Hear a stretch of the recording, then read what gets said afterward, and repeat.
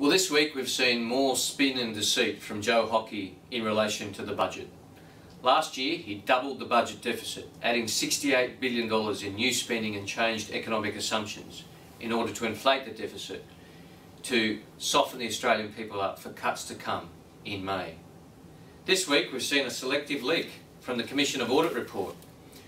Now, I have a novel idea for Mr Hockey. Instead of selectively leaking parts of the Commission of Audit report, why don't you release all of the report? Yesterday, the people of Western Australia voted in the Senate election without being given the benefit of seeing the Commission of Audit report by Mr Hockey. Well, all people of Australia should see the Commission of Audit report so that we can have a proper discussion about the cuts that Mr Hockey is planning in May's budget. This leak came after the bungled leak of a so-called Treasury document by the Treasurer. The Treasurer was happy to see a briefing note be characterised all through the media as a Treasury briefing note. According to the Australian's report on Monday, this was new Treasury analysis.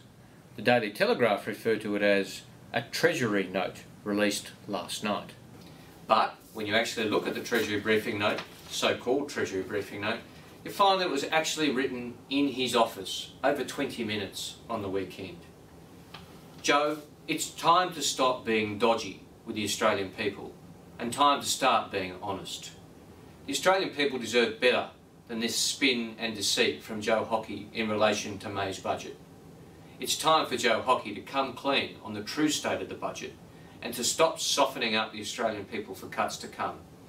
If Mr Hockey wants to soften anybody up, he should be softening up the Prime Minister and explaining that his paid parental leave scheme is unfair and unaffordable, that his direct action scheme will add billions of dollars to the budget deficit without doing anything about climate change.